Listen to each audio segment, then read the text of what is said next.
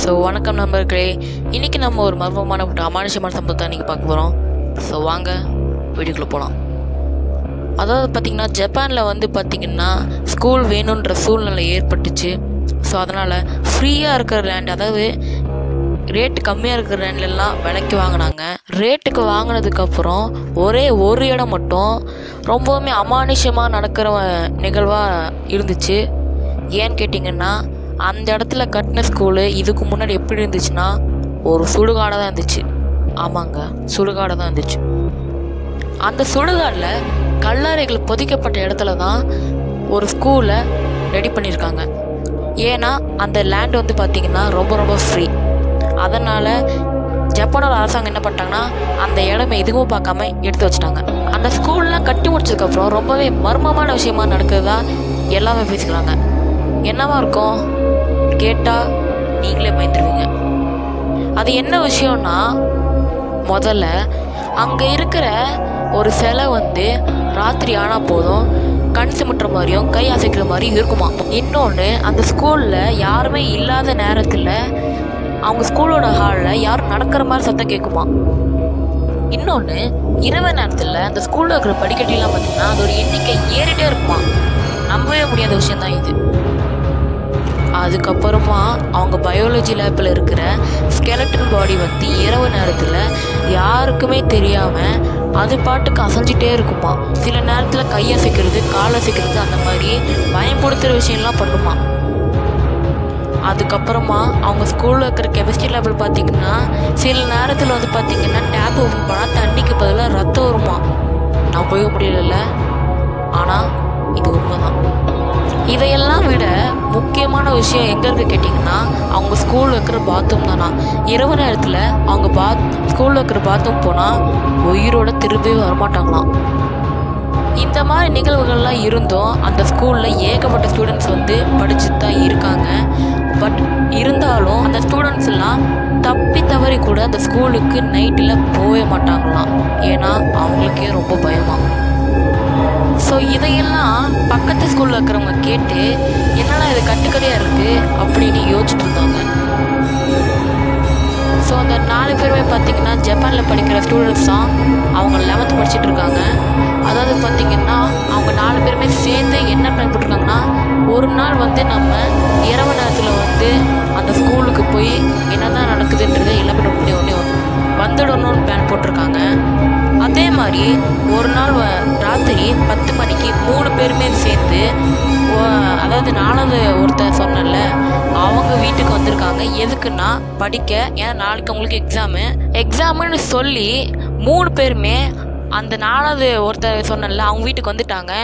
ஏன்னா அந்த நாலாவது பர்சன் கிட்ட மட்டும்தான் அவங்க வீட்டில் அவனுக்குன்னு ஒரு தனி ரூம் கொடுத்துருக்காங்க. சொன்னால் மூணு பேரும் வந்துட்டாங்க. அவங்க ரொம்ப நாள் வெயிட் பண்ணியிருக்காங்க எப்படா அந்த நாலாவது பர்சனோட பேரண்ட்ஸ் வந்து தூங்குவாங்கன்ட்டு ஒரு வழியாக பேரண்ட்ஸ் தூங்கிட்டாங்க. அப்போ யாருக்குமே தெரியாமல் மெதுவாக அந்த வீட்டை விட்டு வெளியில் வராங்க. வெளியில் வந்ததுக்கப்புறம் தான் ஆட்டமே ஆரம்பிக்குது. ஒரு வழியாக அவங்க ஸ்கூல் ரீச் ஆயிடுறாங்க. பட் ரீச் ஆனதுக்கப்புறம் தான் அவங்களுக்கு தெரியுது. அங்கே வாட்ச்மேன் இருக்காங்கன்ட்டு. ஸோ அதனால் அவங்க ஃப்ரெண்ட்ஸ்லாம் என்ன சொல்கிறாங்க கேட்டிங்கன்னா வாடா நம்ம பின்வாசலாக போய் ஸ்கூலுக்கு ரீச் ஆகிடலாம் இங்கே போனால் மாட்டிப்போன்னு சொல்லிட்டு பின்வாசல் வரையே போகிறாங்க அப்படியும் பின்வாசல் வழியாக ஸ்கூலுக்கு என்டர் ஆகிட்டாங்க அவங்க ரீச் ஆனதுக்கப்புறம் பார்த்தீங்கன்னா அந்த இடமே ரொம்ப இருட்டாக இருக்குது கொஞ்சம் பயந்தாங்க. பட் அதுக்கப்புறம் அவங்களுக்கு ரிசர்ச் ஆரம்பிட்டாங்க அதாவது அந்த ஸ்கூலில் இருக்க ஹாலில் வந்து ஏகப்பட்ட நடமாற சத்தம் இரவில் கேட்கும்னு சொல்லியிருந்தாங்க. பட் அங்கே எந்த ஒரு நட நடமாற சத்தமும் கேட்கல அதை பார்த்துட்டு அவங்க ஃப்ரெண்ட்ஸ் எல்லாம் கலாச்சிட்டு போயிட்டாங்க. அவங்க எப்படி கலாச்சாங்கன்னா என்னடே நம்ம வந்து இப்போ என்னென்னமோ சொல்லிட்டுருந்தாங்க இங்கே பார்த்தா ஒன்றுமே காணும். நம்மக்கிட்ட கட்டுக்க தான் சொல்லியிருந்தாங்கன்னு சொல்லிட்டு போயிட்டாங்க. ஸோ அப்படியே பார்த்தீங்கன்னா அவங்க நாலு பேருமே படிக்கட்டுக்கு ஏறுறாங்க. மென்ஷன் பண்ணிக்கிறேன். அந்த படிக்கட்டில் வந்து ஏறும்போது எண்ணிக்கை ஏ ஏறிட்டே இருக்கும்னு சொல்லி சொல்லியிருக்கேன். ஸோ அவங்க ஏறும்போது அந்த நாலு பேர்த்தில் ஒருத்தன் எண்ணிட்டே வந்திருந்தான். ஸோ இந்த எண்ணிட்டே வரும்போது பதிமூணு இருந்துச்சு படிக்கட்டு. ஸோ அதுக்கு அவங்க என்ன சொன்னாங்கன்னா என்ன பதிமூணு தான் இருக்குது ஏறிட்டே இருக்கோம்னாங்க ஒன்றுமே இல்லையே கலாச்சாங்க. ஸோ அப்படியே அவங்க பயாலஜி லேபுக்கு என்ட்ரு ஆகிறாங்க. ஸோ அந்த பயாலஜி லேபுக்கு என்ட்ரு ஆன உடனே அவங்க எலும்பு கூட தான் பார்க்குறாங்க. ஆனால் ரொம்ப நேரமாக பார்த்துட்டு இருக்காங்க. அரை மணி நேரமாக பார்த்துட்டு இருக்காங்க. ஆனால் அந்த எலும்புக்குள்ள ஒரு அசைவும் இல்லை. ஸோ அப்படியே அவங்க எங்கே போகிறாங்கன்னா ஸ்ட்ரைட்டாக கெமிஸ்ட்ரி லேபுக்கு தான் போகிறாங்க ஸோ கெமிஸ்ட்ரி லேபுக்கு போயிட்டு உடனே எல்லா டேப்பையும் பார்த்திங்கன்னா ஓப்பன் பண்ணிடுறாங்க. பட் அங்கே ரத்தத்துக்கு பதிலாக பியூர் ஆரோ வாட்டர் தண்ணி தான் வந்துச்சு. அதாவது பச்சை தண்ணி வந்துச்சு. ஸோ அந்த கெமிஸ்ட்ரி லேபுக்கு போய் முடிச்சதுக்கப்புறம் எல்லாத்துக்குமே கடைசியாக டேஞ்சரஸான பிளேஸ் பிளேஸுக்கு போகிறாங்க அதாவது அந்த ஸ்கூலில் இருக்கிற பாத்ரூம்க்கு தான். அவங்க வந்து சரி இதாண்டா கடைசி இடம். போயிட்டு சீக்கிரமாக வீட்டுக்கு போயிடலாம். அதுக்கப்புறம் எக்ஸாமுக்கு படிக்கணும் அப்படின்னு சொல்லிட்டு அந்த நாலு பேருமே போய் கிளம்புறாங்க. ஸோ அங்கே பாத்ரூம் போய் நாலு பேர் நிற்கும் போதும் நாலு பேர்த்துக்குமே கொஞ்சம் பயமாக தான் இருந்துச்சு. அப்போ ச அப்போ தான் சண்டை போட்டுவாங்க. என்னென்னா நீ போ இல்லை நான் போகிறேன் இல்லை நீ போ அப்படின்ட்டு நாலு பேரும் சண்டை போட்டுருந்தாங்க. ஸோ அப்படி சண்டை போட்டுட்டு இருக்கும்போது அந்த ஃபோர்த்து பர்சன் அந்த வீட்டுக்கு வந்தான்னு சொன்னாங்கல்ல அவனோட அந்த வீட்டோட ஓனர் அந்த ஃபோர்த்து பர்சன் வந்து நான் போய் பார்க்குறேன் நீங்களாம் பேசிகிட்டு இருக்காதீங்க. நானே போகிறேன் போகிறேன்னு ரொம்ப கெத்தாக தான் போனார். ஆனால் போய் ஒரே நிமிஷம் வந்துட்டார். அதாவது டுவெல் ஃபிஃப்டி நைனுக்கு போனார். ஒரு மணிக்கே வந்துட்டார். அங்கேருந்து அவன் வந்ததுக்கப்புறம் ஒரு மாதிரியாக தான் ஃபீல் பண்ணான் அவன் எக்ஸ்பிரஸ் சரியாம சரியில்லாமல் தான் இருந்துச்சு. ஏதோ ஒரு ஒன்று பார்த்து பயந்து வந்த மாதிரி தான் இருந்தான். அதுக்கப்புறம் அப்படியெல்லாம் வீட்டுக்கு கிளம்ப சொல்லிட்டு கிளம்புனாங்க. ஸோ அவங்க இறங்கும் போது படிக்கட்டிலேயே வ வந்துட்டு இருக்கும்போது அது அவனே வந்து என்ன அப்பயும் பதிமூணு தான் இருந்துச்சு. ஸோ வர வழியில தான் அந்த சிலையை பார்த்தாங்க. அந்த சிலையை நல்லா நோட் பண்ணாங்க. அந்த சிலைவில் ஒரு அசைவும் இல்லை. இன்னொன்று அந்த சிலை வந்து பார்த்தீங்கன்னா ரைட் சைடில் தான் திரும்பி இருந்துருச்சு. ஸோ அப்படியே பார்த்தீங்கன்னா அந்த நாலு பசங்களாம் அவங்க வீட்டுக்கு போகிறாங்க வீட்டுக்கு போனதுக்கப்புறம் இதுக்கு மேலே என்னால் படிக்க முடியாதுடா சொல்லிட்டு ஒன்றரை மணிக்கே படுத்து தூங்கிடுறாங்க. ஸோ படுத்து தூங்கிட்டு காலைல அஞ்சு மணி ஆன ஆனதுக்கப்புறம் அந்த நாலாவது பர்சனை நல்லா பெட்ஷீட்டில் பொத்தி வச்சுட்டு பயடான்னு சொல்லிட்டு மூணு பேர் அவங்க வீட்டுக்கு கிளம்ப போயிட்டாங்க. அதுக்கப்புறமா வழக்கம் போல் அந்த மூணு பேருமே ஸ்கூலுக்கு போனாங்க. ஸ்கூலில் பாடம் நடந்துட்டு இருக்கும்போது அந்த நாலாவது பர்சன் ஸ்கூலுக்கு வரல. அப்போ அவங்க நினச்சிட்டு நினச்சிட்டு இருந்தாங்க நைட்டு நம்ம போனதுனால ரொம்ப டயர்டாக இருப்பான் அதான் லீவ் போட்டு போனணுமோன்னு சொல்லிட்டு அப்படியே விட்டாங்க. அப்போ யாரோ ரொம்ப ஓடி வந்துட்டே அழுந்துட்டே வந்துட்டு இருந்தாங்க. உடனே அவங்க கிளாஸ்க்குள்ளே வரும்போது தெரியுது அந்த நாலாவது பர்சனோட அம்மா அழுந்துட்டே வந்துட்டு இருக்கும்போது சாரி என்னன்னு கேட்டதுக்கு என் பையன் இன்னும் வீட்டுக்கு வரலன்னு சொல்லியிருந்தாங்க. அதை கேட்டு நாலு பேர் ரொம்ப ஷாக் ஆயிட்டாங்க. உடனே அந்த அவங்க அம்மா வந்து பார்த்தீங்கன்னா அந்த நாலு பசங்கள்கிட்ட போய் எப்பா என் பையன் எங்கே தான் போனான்? அப்படின்னு கேட்டாங்க. அதுக்கு அந்த நாலு பசங்களும் என்ன சொன்னாங்கன்னா நாங்கள் நைட்டு ஃபுல்லாக படிச்சுட்டு தான் இருந்தோம். படித்ததுக்கப்புறம் அஞ்சு மணிக்கு கரெக்டாக அவன் தூங்கினான் நாங்கள் அவங்கள பார்த்தோம். அதுக்கப்புறம் நாங்கள் எங்கள் வீட்டுக்கு போயிட்டோம் அப்படின்னு சொன்னாங்க.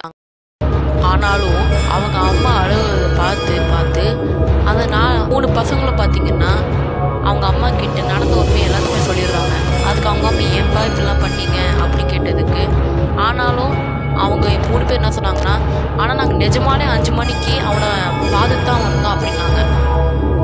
உடனே அந்த மூணு பேரும் ஒருவேளை அவன் திருப்பி அதே ஸ்கூலுக்கு போயிருப்பானோ என்னமோ அப்படின்ட்டு சொன்னாங்க. அதனால் அந்த மூணு பேருமே திருப்பி அதே ஸ்கூலுக்கு தான் போனாங்க. அப்போ அங்கே பா வகுப்பெல்லாம் நடந்துட்டு தான் இருந்துச்சு. அப்போ அவங்க வாட்ச்மேன் கிட்ட டீட்டெயிலாக தான் சொல்கிறாங்க வாட்ச்மேன் ஏன்னா அவன் நாங்கள் வந்து ப்ரொஃபஸர் கிட்ட பர்மிஷன் கேட்கணும்னு சொல்லிட்டு அந்த ஸ்கூலில் ப்ரொஃபஸர் கிட்ட கேட்குறாங்க சாரி அது ப்ரொஃபஸர் இல்லை அது ஒரு டீச்சர் தான். ஸோ அந்த டீச்சர் கிட்ட கேட்டப்போ பார்த்தீங்கன்னா அந்த டீச்சர் என்ன சொல்கிறாங்கன்னா உடனே அந்த டீச்சர் ரொம்ப கோவப்படுறாங்க.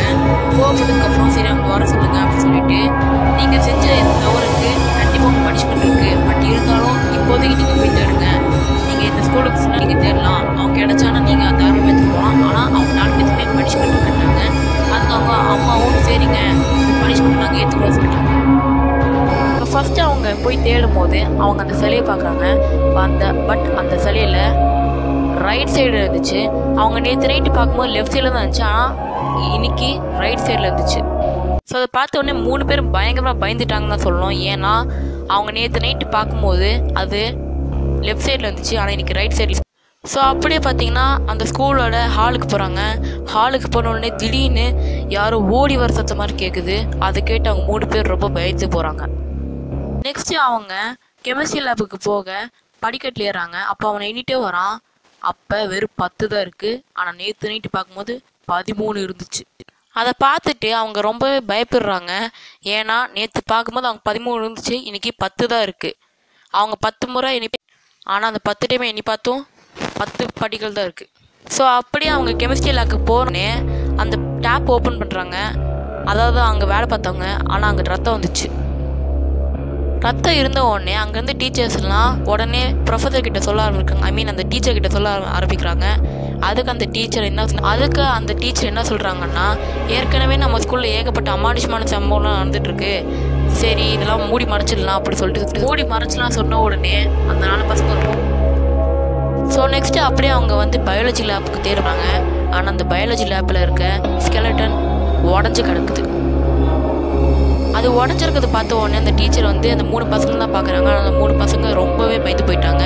ஏன்னா நேற்று பார்க்கும்போது அது கிளியராக இருந்துச்சு. நெக்ஸ்ட்டு அவங்க கடைசியாக அந்த ஸ்கூலோட பாத்ரூம் பிளேஸ்க்கு போகிறாங்க அப்போ அந்த டீச்சர் என்ன சொல்கிறாங்கன்னா இந்த ஸ்கூலில் தான் கடைசி பிளேஸு பட் இதுவும் சர்ச் பண்ணிடலாம். பட் இது ரொம்ப டேஞ்சரஸான பிளேஸு எல்லாத்துக்குமே தெரியும். அதனால அங்கே உள்ள வேலை பார்த்தவங்கள ஒருத்தவங்கள அனுப்பி எல்லா பாத்ரூமும் செக் பண்ண சொன்னாங்க. எல்லா பாத்ரூமும் அந்த ஒர்க்கரும் செக் பண்ணிகிட்டே இருக்கும்போது கடைசியாக கார்னரில் இருக்கிற ஒரு பாத்ரூம் போனாங்க. அந்த பாத்ரூம் திறந்தது உடனே அவன் ரொம்பவே பயந்து அ- அலறி போயிட்டான். ஏன்னா அங்கே அந்த நாலாவது பர்சனோட தலையும் உடம்பும் தனியாக இருக்குது ஸோ அதை கேட்ட உடனே அவங்க அம்மா வந்து ரொம்பவே பயந்து போயிட்டு அப்படியே அங்கனே மயங்கி விழுந்துட்டாங்க. ஆனால் அந்த மூணு பசங்க பயத்தோட உச்சிக்கே போயிட்டாங்கன்னு தான் சொல்லணும். ஏன்னா அவங்களுடைய number eleven I mean twelve fifty நைனுக்கு போயிட்டு ஒரு மணிக்கு கரெக்டாக வெளில வந்தான் ஆனால் அவன் வெளில வந்துட்டான். அவன் வெளியில் வந்துட்டானா அப்போ அந்த பாத்ரூம்குள்ளே இருக்க டெட் பாடி யாரோடது? அப்படி இல்லைன்னா வெளியில் வந்தது யாரோட யார்? ரொம்ப இன்ட்ரெஸ்டிங்காக தான் போகுது. பட் இதை விட இன்ட்ரெஸ்டிங்கான ஃபேக்ட் என்னன்னு கேட் அவனோட டெட் பாடி வந்து போஸ்ட்மார்ட்டம் ரிப்போர்ட் பண்ணும்போது போஸ்ட்மார்ட்டம் ரிப்போர்ட் என்ன சொல்லுதுன்னா அவன் ஒரு மணிக்கே இறந்துட்டான்னு சொல்லுது. இதை கேட்ட உடனே சடனாக மூணு பேருமே ஷாக்காகி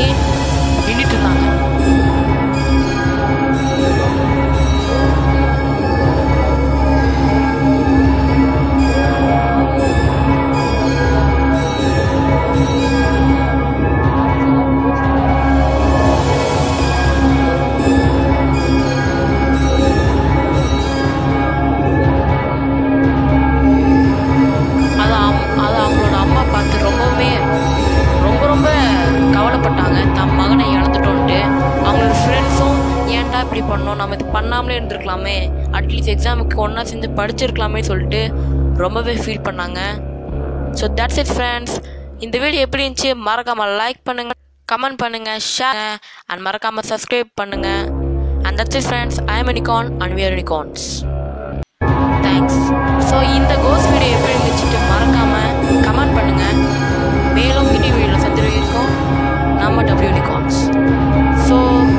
வந்து வாய்ஸ் கிளியராக இருக்கும்னு நினைக்கிறேன். ஏன்னா நீங்கள் நான் புது மைக் வாங்கியிருக்கேன். ஸோ அதனால் எப்படி இருந்துச்சு அதையும் கமெண்ட் பண்ணுங்கள் டூ ஹண்ட்ரட் ருபீஸ் தான் ஸோ அதை வேணா ஒரு வீடியோ போடுறேன்.